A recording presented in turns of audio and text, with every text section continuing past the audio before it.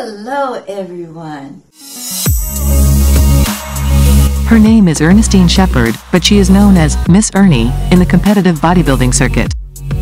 At 86 years of age, she is the world's oldest living female competitive bodybuilder. Ernestine started working out at 56 years of age, when she and her sister, Velvet, decided it was time to get into shape. Unfortunately, Velvet passed away soon after, and Ernestine fell into a deep depression. She stopped working out. But Ernestine said her sister appeared in her dream and asked her to continue what they had started. Ernestine never looked back after that and became a competitive bodybuilder at age 71.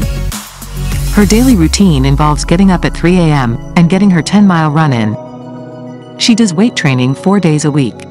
She has no injuries, no body aches, and is not on any kind of medication. Her motto, determined, dedicated, disciplined to be fit.